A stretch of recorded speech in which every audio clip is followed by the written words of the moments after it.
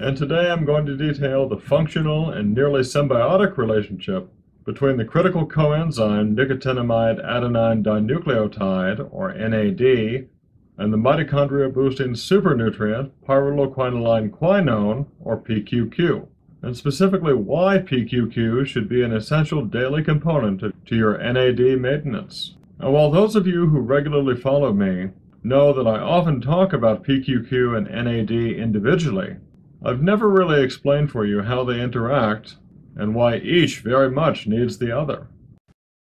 Both PQQ and NAD can be obtained from food, with micro amounts of PQQ being present in every fruit and vegetable, and NAD being a byproduct of regularly ingesting the essential amino acid tryptophan, which is of course found primarily in meat and dairy products. Pyruvate is the end product of glycolysis, the first metabolic step in the extraction of dietary energy for cellular metabolism. However, if your cells lack mitochondria, are poorly oxygenated, or the demand for energy rapidly exceeds ATP production, as it does during intense exercise, pyruvate can be fermented into lactate by the metabolic enzyme lactate dehydrogenase. And this is where you can see the first intersection of PQQ and NAD, because PQQ, in the presence of NAD, binds to lactate dehydrogenase, thereby inhibiting the formation of lactate from pyruvate, leading to less lactate accumulation, more ATP production, and enhanced cellular energy overall. And beyond binding to lactate dehydrogenase, the specific mechanism behind PQQ's conversion of lactate to pyruvate is PQQ's oxidation of NAD into the far more active NAD+.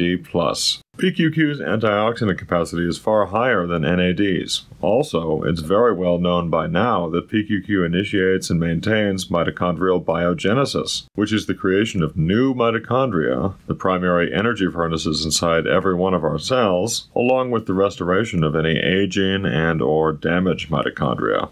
Increasing concentrations of pyruvate also enhance mitochondrial biogenesis, so PQQ's binding to lactate dehydrogenase and resulting facilitation of pyruvate production is definitely one part of how PQQ generates new mitochondria. And here is yet another critical area where you could see the interplay between NAD and PQQ, because as PQQ generates new mitochondria, NAD is literally the fuel for the metabolic proteins known as sirtuins that constantly repair DNA, telomeres, and mitochondria.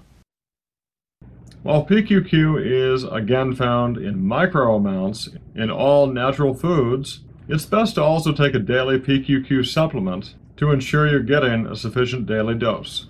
And a common dose for PQQ that you will likely encounter is 20 milligrams.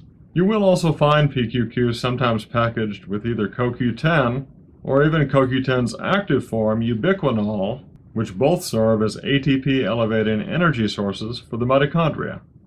The best and easiest way to replenish and maintain NAD is through regularly taking NAD's direct precursor, niacin, or vitamin B3, and ideally the original flushing form of niacin, also known as nicotinic acid.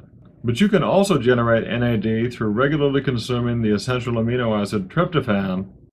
And if you're going to build NAD through taking tryptophan, then you would also need to take either a full B complex or at the least some supplemental vitamin B6 which is the specific nutrient necessary for building NAD from tryptophan. So I hope you now understand the almost symbiotic relationship between PQQ and NAD, why you should maintain both every day, especially if you're older, and also how easy it is to do that.